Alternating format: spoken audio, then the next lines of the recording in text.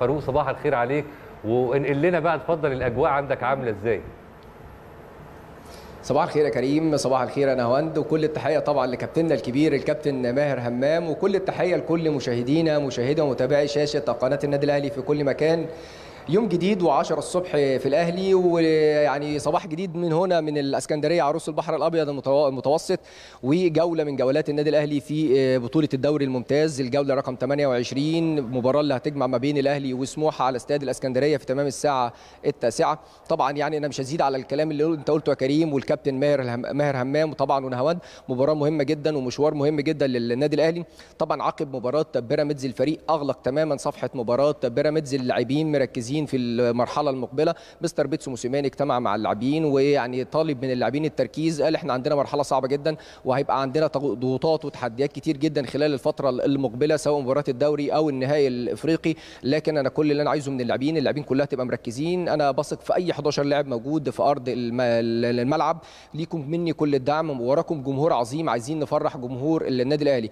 أيضا الكابتن محمود الخطيب كان موجود في مران الفريق بالأمس وجود الكابتن الخطيب والرسائل الدعم اللي بيديها للاعبين طبعا بتغني عن أي كلام.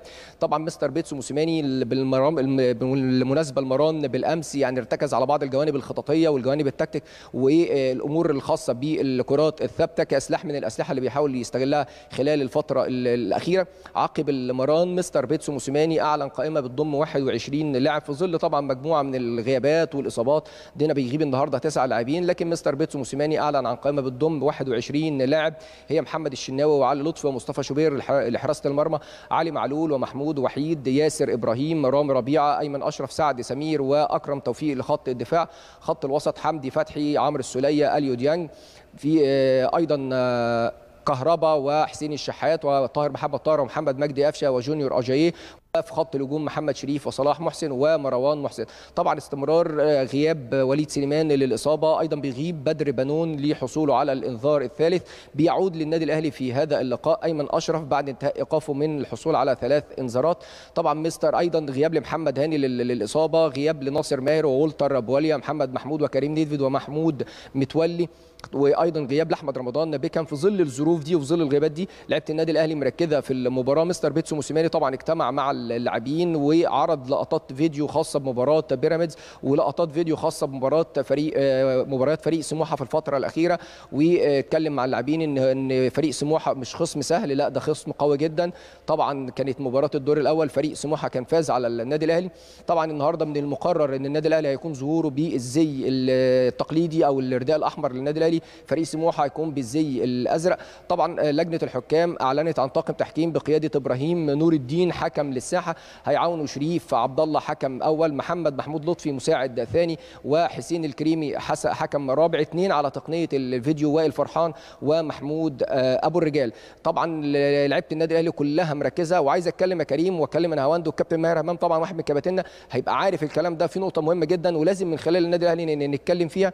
إن في بعض الأمور خلال الفترة القادمة ومستر بيتسو موسيماني والكابتن سعد عبد الحفيظ اتكلم مع اللاعبين في هذا في هذا الأمر. أنت انت أنت مقبل على نهائي إفريقيا. وطبعا في قلة من الناس وبعض الناس هتبدأ الفترة الحالية إنها يعني تروج لبعض الإشاعات غير موجودة بالمرة.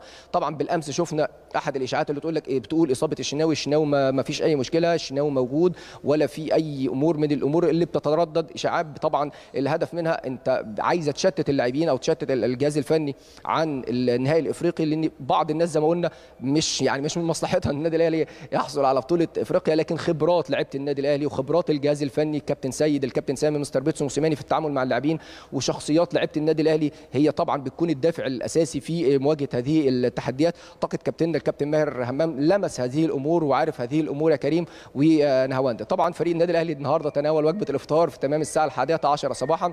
وجبة الغداء هتكون في تمام الساعة الثالثة عصرا. المحاضرة الفنية لمستر بيتسو موسيماني هتكون في تمام الساعة الخامسة والنصف والتحرك لملعب المباراة يكون في تمام الساعة السابعة. إن شاء الله كل التوفيق لفريق النادي الأهلي. أنا موجود معاك يا كريم موجود معاك يا نهاوند لو في أي استفسار أو أي تساؤل. طيب يعني خليني بس يا فاروق أخد من آخر كلمة أو آخر نقطة أنت قلتها لأن دي نقطة مهمة جدا وإحنا يمكن اتكلمنا فيها في بداية الفقرة مع كابتن ماهر وهي فكرة ترويج الإشاعات وفكرة يعني إن البعض زي ما بيتقال كده باللغة البسيطة بيصطاد في المية العاكرة. فحلو جدا إن أنت تأكد لنا إن ال- الأجواء دي غير موجودة تماما. إحنا بنطمن جمهورنا الكلام ده كلام ملوش أي علاقة بالصحة يا جماعة. الأجواء كويسة جدا. آه، والنقطة كمان هنا يا فاروق إن أنا عايزاك معلش تقول لنا أ- أكتر فكرة هنا ال- ال- الناحية النفسية. إحنا فنيا متأكدين إن موسيماني بيجهز الفريق على اعلى مستوى. بس آه، فكرة هنا برضو الضغط اللي موجود ونفسيا ال- ال- التجهيز النفسي ده إزاي؟ العلاقة ما بين اللعيبة إزاي؟ كل ده عايزين سريعا بس هستأذنك تنقله لنا تاكيدا للنقطه اللي إحنا بنتكلم. فيها. اتفضل. سريعا يا نهاوند هقول لك على شقين مهمين جدا. اولا دور أوضة اللبس ودور الكابتن سيد عبد الحفيظ والكابتن سامي قمصان في هذا الأمر. كابتن سيد عبد الحفيظ دايما بيتكلم إن المواقف اللي زي دي والتحديات اللي زي دي هي اللي, اللي إحنا بنحكيها للأجيال اللي بعدنا. هي دي اللي بتصنع شخصيات لعيبة النادي الأهلي. ولاعيب النادي الأهلي بيبقى قادر على التعامل مع هذه الظروف. أيضا دور أوضة اللبس في النادي الأهلي وليد سليمان الشناوي أيمن أشرف رامي ربيعة سعد سمير دورهم الكبير جدا. الناس يعني أنا بتفاجئ باللاعبين إنهم مستغربين جدا من الكلام اللي بيتقال. والإشاعات اللي بتروج.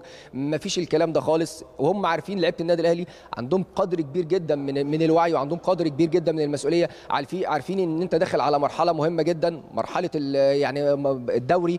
في ناس عايزة تشتتك عن بطولة الدوري. لا اللعيبة مركزة في بطولة الدوري. عندك نهائي الإفريقي. النهائي ال- الإفريقي وال- والحلم الكبير جدا الحفاظ على البطولة الإفريقية وتحقيق البطولة العاشرة. لكن خبرات لعيبة النادي الأهلي يعني ياما مر لعيبة النادي الأهلي وأجيال النادي الأهلي مرت بهذه الظروف. لكن خبرات لعيبة النادي الأهلي هي اللي بتحكم في هذه الأمر وشخصيات لعيبة النادي الأهلي اللي دايما كلنا بنراهن عليها. لكن أنا هوند يعني هي كلمة بنقولها للجمهور مش عايزين جمهورنا يلتفت لمثل هذه الشائعات. عايزين ندعم فرقتنا نركز مع فريقنا نركز مع كل اللاعبين كل اللاعبين على قدر المسؤولية. يعني أعتقد رسائل كتير جدا بتوصل للاعبين لكن لعيبتنا على قدر المسؤولية إن شاء الله وقادرين إن شاء الله على الحفاظ على بطولة الدوري والحفاظ على اللقب الإفريقي وتحقيق المزيد من البطولات بإذن الله. بإذن الله. إن شاء الله كل الشكر لزميلنا العزيز فاروق صلاح.